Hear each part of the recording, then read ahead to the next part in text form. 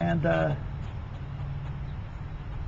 the early years were were not were not uh, easy, as I said, and practically every day uh, was a uh, was a struggle.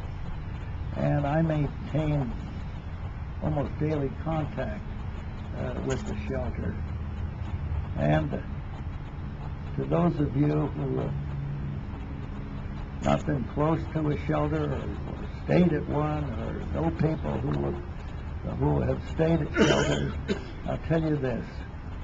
The best people that I have ever met in my life, the best group of people, uh, and this includes a lot of judges, I know, uh, the homeless are among the best.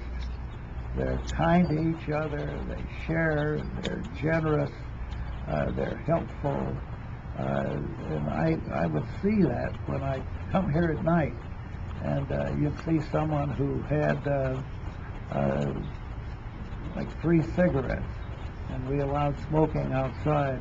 And uh, before this person would light up, he'd offer the other two to someone else. That was all that he had and they, they would help each other by uh, repairing each other's vehicles and uh, and helping each other when they were uh, depressed and uh, and uh, and down and out. And uh, it, it's just a wonderful human experience to see how our homeless clients working together with our staff and the Salvation Army and the humanity that uh, that is displayed by by all of them.